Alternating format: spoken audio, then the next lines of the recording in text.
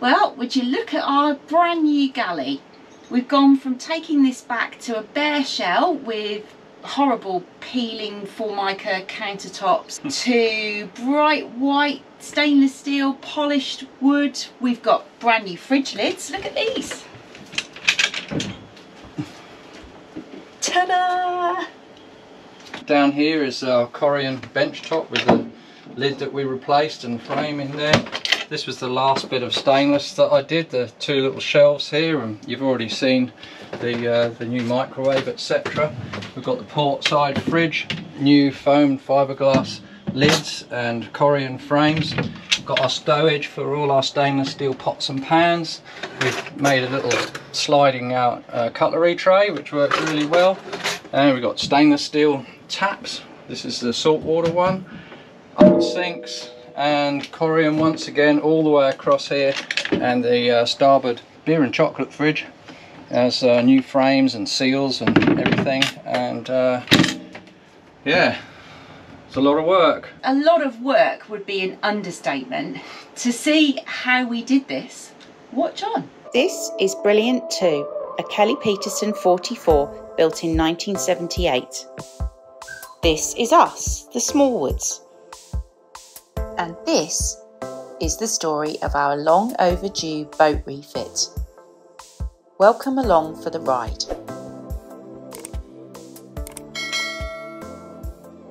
Alright, so here we are in the galley. I'm about to make a start building in Corian the surrounds to the top loading fridges. It'll be a smooth transition. All you'll see is Corian from here all the way up to here and across the bench top. So I'm going to measure all of this up and go home and cut all the bits out that I need.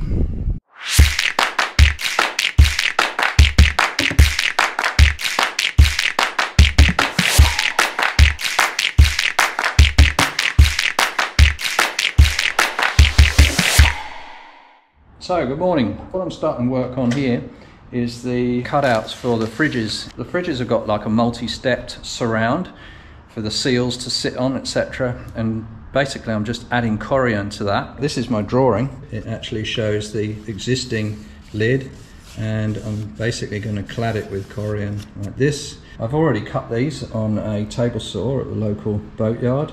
I'm just going to clean these edges up and then I'll go down to the boat. I'm going to use that framework in the fridge as my pattern for forming a removable drop-in frame. You'll see how that works out when we actually get down there and do it. Okay, so I'm back down on the boat now.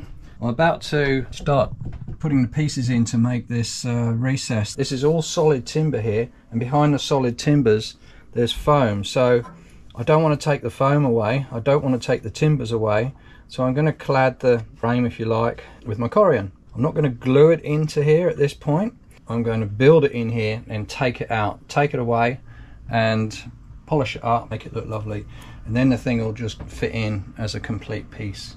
I'm going to lose a, a little bit of the surround here, but it can't be helped. The actual side of the fridge is right here anyway. And if I took more away here, I wouldn't have a wide enough lip here for my rubber seal to go onto for the lid to sit down. So there's no two ways to do this, there's just one way and uh, it just means that we're going to have a slightly smaller opening here which we'll just have to live with. So I've just put the first row in so that's basically how much we're going to lose is half an inch all round. Here's a little tip measuring inside edges here with a tape measure it's not really very accurate and you don't want to be doing too much sanding and mucking around with the ends of these. You can just cut a strip of ply like that, nice square um, end on them and all you have to do is just slide those strips apart like that. A little welder's clamp, there's the measurement. You can't get it wrong really. So my hatch frame is completed, all the bits are cut and fit, taped in. Next thing I have to do is pull it all apart and then stick it all together with the epoxy that is Corian and that's the tricky side of it the stuff goes off very quickly I've taken my frames out they're all sitting there ready to go in I'm putting packaging tape all around the inside of this wooden frame so that uh, this thing, whole thing doesn't get glued in So I'm ready to start gluing in there. Now I don't know how this is going to go. How hard can it be?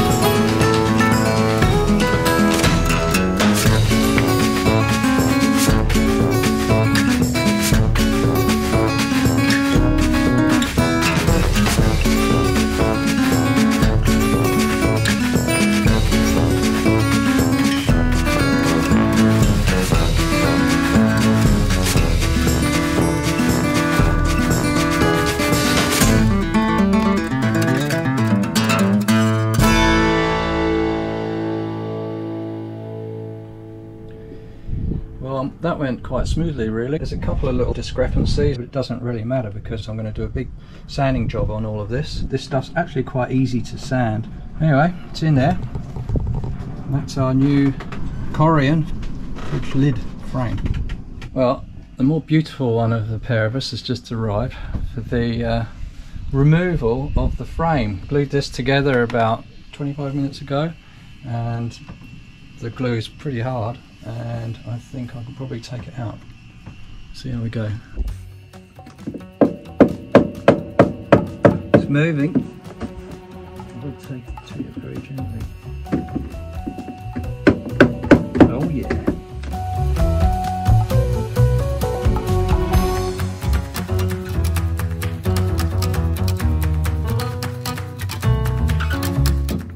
All these bits overlap at the corners in different places, so is really strong.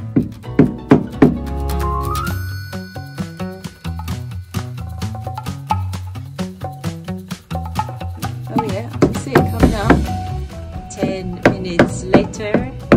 Well, I don't want to rush it. No, I'm not suggesting that you should. Oh. Oh. This is like I'm moulding something. How Yeah, good that is when yeah. you're doing fiberglass moulds. Oh, Oh yeah! yes. Look at that. So we take this home and um, sand it all up. We put radius edges everywhere I can with the router and then a, a polish of everything and it should look like those professionally, bought one. professionally made Corian kitchens. Cool. Well done, babe. Sanding the frame here. I've also routed off the edges that I wanted to put a radius on. There's a few cracks, know, joins that are still visible. You can just see them here. I'm going to use the Corian glue to fill those joints. Before I do it on the actual frame, I'm going to do a quick little test back of the frame just to get the technique right. You have to work really quick with this stuff. It starts going off as soon as you use it. I'm going to try pushing like you do with the silicone gun first of all. You'll see how this mixes as it goes down the tube. It seems to work pretty well. You throw this away because this will go off in 10 minutes in there and you put the little cap back on Make sure it's the right way around. You can't get it wrong because it's got these locator pins. Close that and there's still more than half of this left. It's expensive, but it goes a long way. And that's ready to use again. But the applicator, you'll have to use another one. You get two applicators with each tube. So you have to be careful, you have to plan what you're going to do with it. Otherwise you'll run out of applicators. I don't know if you can buy them on their own. I'm starting on the port side fridge and it's a little bit different to the starboard fridge in that I've actually got to remove this framework. It's got uh, angled top to it and we would end up with two smaller access point here. Uh, the only way is just to take all this timber off which involves a lot of chisels, brute force and lots of banging and crashing. So here we go.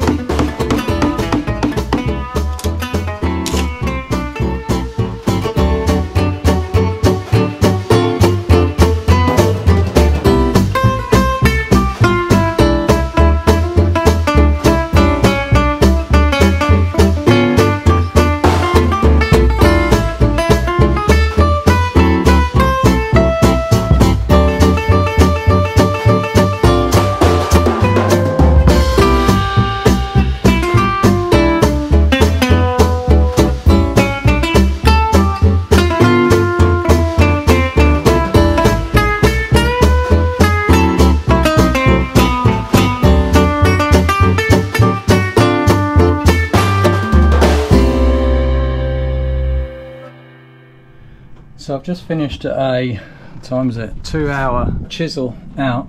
There's some of the wood that came out of it. I can measure up, and then go and cut the strips, then come back here and fit it all. So I'm about to put the frame for the fridge lid together. I've pre-cut all the bits and this doesn't need to be done actually in situ. It's a simpler shape than the other one. It's pretty self-explanatory this one.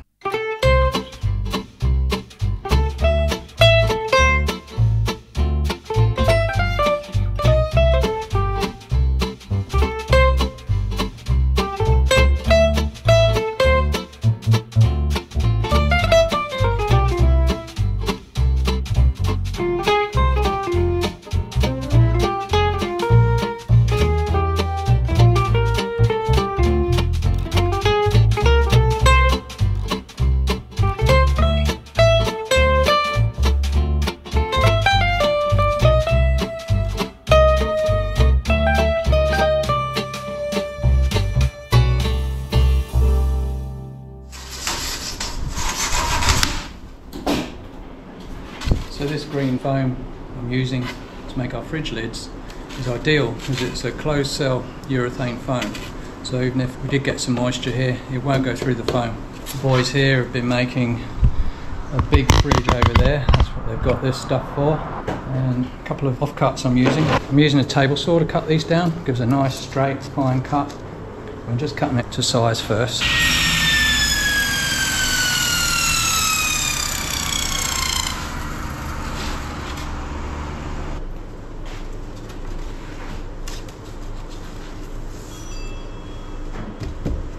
I've got the um, external dimensions done on these two. Now what I've got to do is cut them to the correct thickness. I'm putting the rubber seal in here and putting my block of foam in. See where it sits. I'm going to mark up where my cut needs to be. Now I've got line to follow all the way around.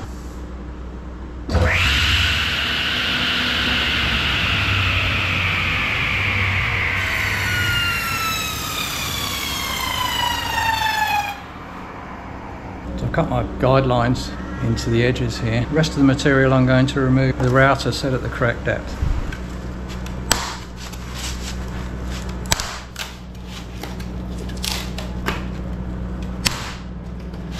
This is strong stuff. This is structural as well as being closed cell. So you can use it in deck core, coal core, and fridges. I'm just going to run some guidelines across this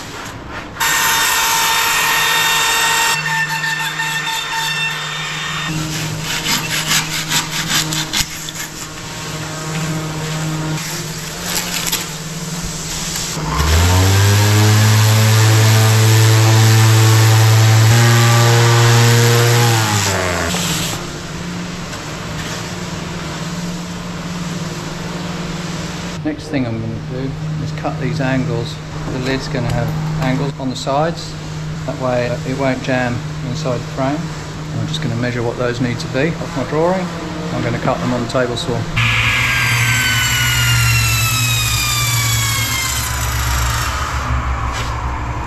So I've cut 8 degree angles and that means it, it won't, even though you have quite a close tolerance at the edges here, I've got about 2 mil all around, you can even, you can pick this up from one end and it still won't jam. If you didn't have that angle on there, that would jam. So now we're ready to do the radius on the bottom edges of this. The reason we put a radius here is because this is going to be covered with a bit of double bias cloth and the cloth what doesn't like wrapping around tight radius so just to be safe I'm putting a 12 mil radius on there and uh, it'll be much easier to glass and harder wearing I guess. Anyway here we go.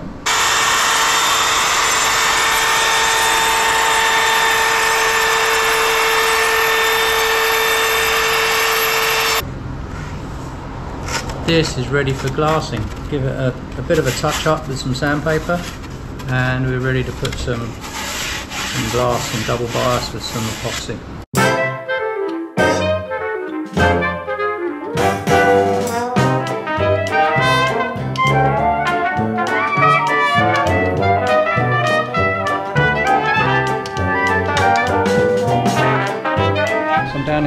Trim excess. I'm going to do that with vibration saw. If you want to get a really accurate cut, really close to where you want the fiberglass to be cut down to. A good way to do it with a vibration saw is use a, a thin handsaw as a guide.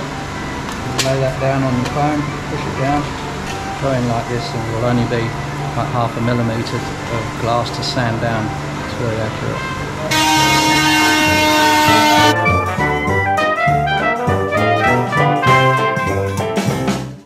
Going to get into the horrible job of uh, sanding these smooth.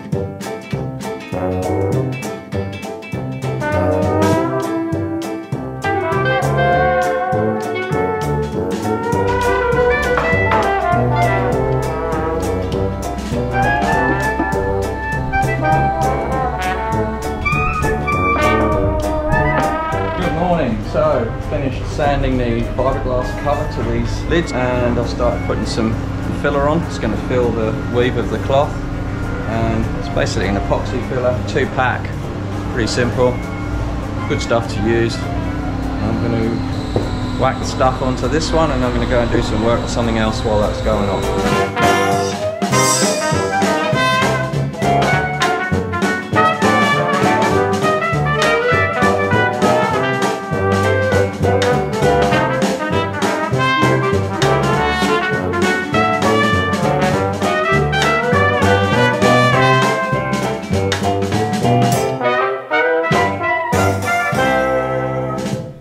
Morning. We're down on the boat today in Operation Pimp Up Your Galley, and today's first job is going to be to recess the sink down about six millimeters by its thickness to provide a level playing field here for the Corian to go on. So I'm going to pull this out, get the router out, tent this area up, and route out the recess.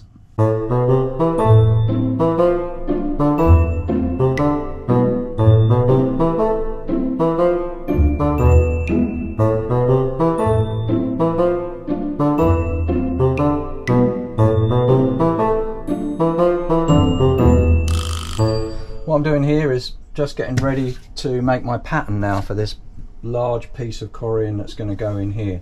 So I've got the sink recessed in. I'm just about to test fit the frames that I've made for the lids. That's a pretty good fit. I've got to cut a recess for this one as well.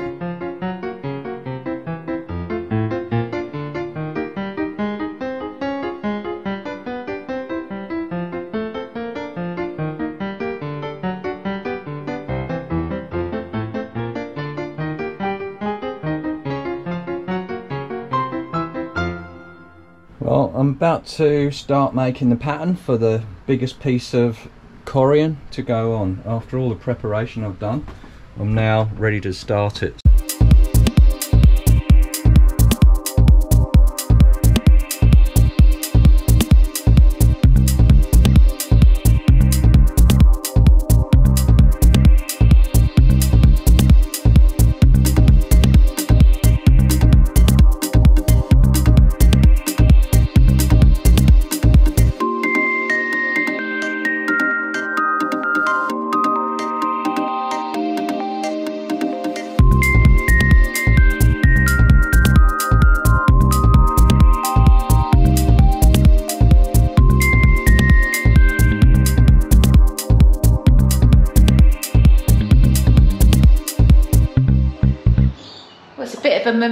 Momentous moment, another one in the evolution of Brilliant 2. The big piece of corian, the big expensive bit, is cut out and it's, well, semi-cut out and we're ready to test fit it in the boat. And then we're going to bring it back here and polish it all up once it fits. Hopefully it'll fit. So, the moment of truth. Let's get this thing down there. Let's do it.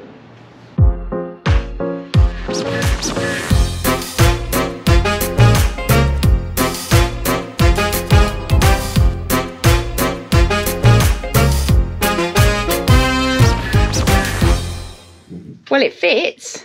Yeah, it's crept out a couple of mil there and it's crept out a couple of mil there. Don't know why, but doesn't really matter. That's why we made these lids so that the lids get assembled after this is in, just in case we crept out here or there. Now this end, look at that, there's the line that had to line up with.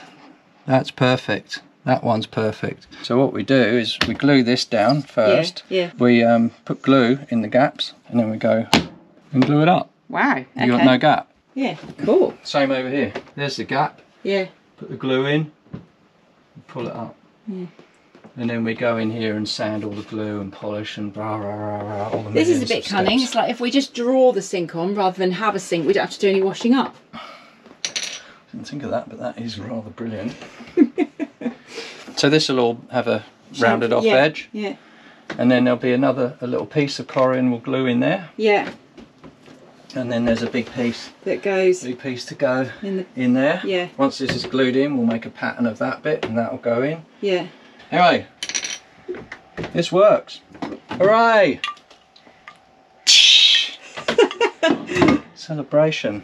So this afternoon I'm working on the corian lids, the foam parts, basically the insulation going on over here. Got a nice thick coat of primer on there. To get rid of any imperfections. Whilst that's drying, I'm over here working on the corian top.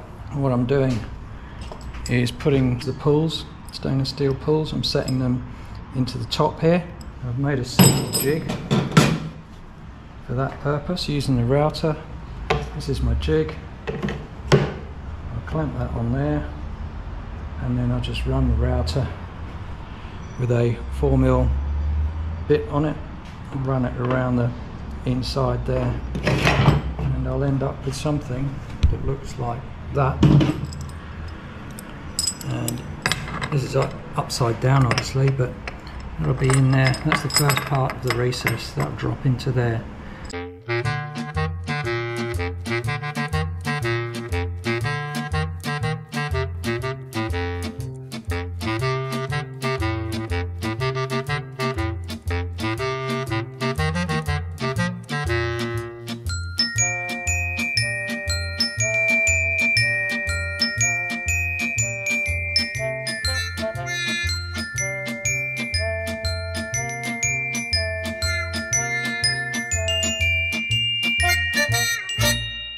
I've had a bit of a failure with the finish on the fridge lids. I thought I would be able to paint them with spray cans. It's a quick and easy way to do it. But the primer coat, it didn't go off properly. So I ended up having to rethink how to do this. Between us, we came up with the idea of, of just painting flow coat. We'll get a brushed finish, keep putting it on until we've got a thick enough coating, and then basically we just have to sand it back through the grades. We should be able to polish it right up. And at least we know that, that the gel coat will go off in these humid, humid and hot conditions. It's about 32 and it's, it's probably about 85, 90% humidity today. And that's basically why the single pack paint just didn't go off. So as you can see, I've taken all of the paint off again. I've still got some epoxy filler on there, the blue stuff. Um, that's okay, that all went off, that's completely stable. So gonna get some coats of flow coat on here and pretty sure it'll work. I had a batch of uh, flow coat that didn't go off so I had to scrape all the old semi-congealed, semi-hardened gel coat off and then get some new material and, and do it again. But luckily it all went off last night and they're all ready to install now. So I'll be a lot happier when this bench top, is a big bit of Corian, is actually glued down um, securely. And the other thing that happened was that when we found that the flow coat hadn't gone off, we couldn't actually buy any flow coat locally. So big thank you to the guys at Hawkes Boatyard for coming to the rescue again. So hopefully this is going to be the last time the sink comes out, isn't it? Ever. So the whole surface has just got to get a light scuff up now, just to make sure there's a really good adhesion between the silicone on the Corian and the wood. We've scuffed this up. The first thing to do is to drop the frames into the fridges because they get trapped once you put the lid on. Righto.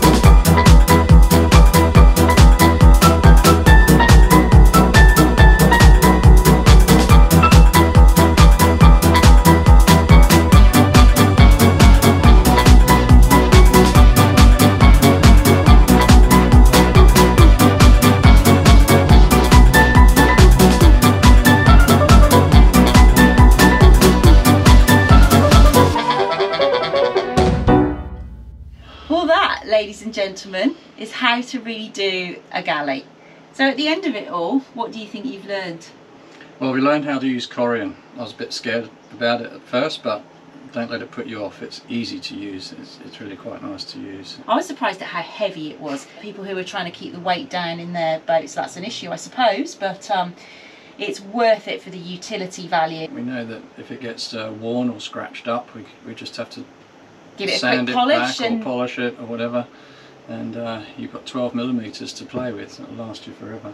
What I really like about the new fridge lids is that, as well as looking fabulous, the insulation is really good. You put your hand on there, hand on there, and there's no temperature difference that you can determine. So they look great, and they do a great job insulation wise. The stainless steel taps were a huge improvement as well. A little bit expensive, but uh, considering we've got a salt water system here as well as fresh water, it was just really good to have something that isn't rusting all the time. What we had there was pretty industrial before and now it looks very flash. Also having the sink properly recessed in so the countertop comes above it. It's just that bit more modern and just little things like this having the cutlery drawer on sliders it just means that we're utilizing space as you know on a boat you've only got a limited amount of space so the more that you can use it in clever ways like this the better your quality of life is going to be. This is actually the first bit of the boat that's fully complete. It's amazing. we started this whole refit project at the end of 2020 and it's now the beginning of 2023 I don't think we had any idea that it would take this long. Granted I think we've said before that we're doing it in amongst other things. We're not working on it full time we've got jobs and schools and all sorts of other things going on uh, in the background. So we're basically living several lives all at once uh, which is one of the reasons it takes so long so to actually get to a point where a section of the boat is fully complete is it feels really good doesn't Milestone. it yeah it, it's great and funnily enough this galley was never on my original refit list for some reason I just had saloon and then I just had separate project written for galley. I don't really know what I thought was going to happen in here or how I thought it was going to be possible to do the saloon without doing the galley but anyhow here we are. And what's next? Well, we're going to finish the nav station over there, and then I think the, with the drier weather coming, I'm going to start doing the best we can to fix leaks, which means taking the cap rail off. we've got one big leak left and that is the cap rail so we're still sailing the boat while we've been doing the refit and a lot of the leaks have been fixed but the cap rail is a big issue and we've been sleeping in a wet bed The davits and all of that weight, the boat is now down at the stern, and so any leaks travel through the boat and end up at the lowest point, which happens to be our cabin. so it's a bit of an emergency. So anyway, thanks for watching along. Thanks for all the words of encouragement and stay tuned.